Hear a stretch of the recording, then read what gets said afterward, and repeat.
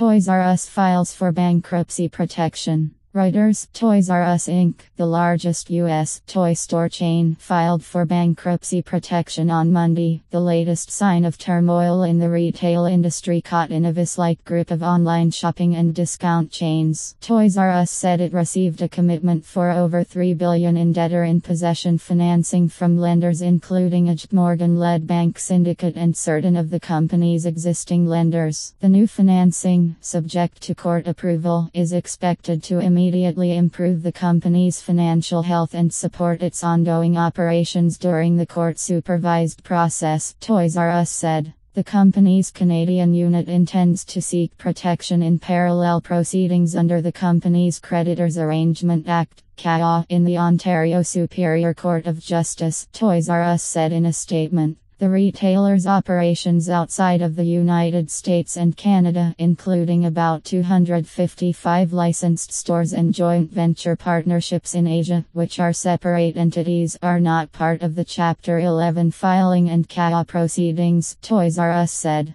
The filing is among the largest ever by a specialty retailer and casts doubt over the future of the company's nearly 1,600 stores and 64,000 employees. It comes just as Toys R Us is gearing up for the holiday shopping season, which accounts for the bulk of its sales. Toys R Us filed the petition in the U.S. Bankruptcy Court for the Eastern District of Virginia in Richmond, Virginia. Our standards, the Thomson Reuters Trust Principles, based on the materials of the site,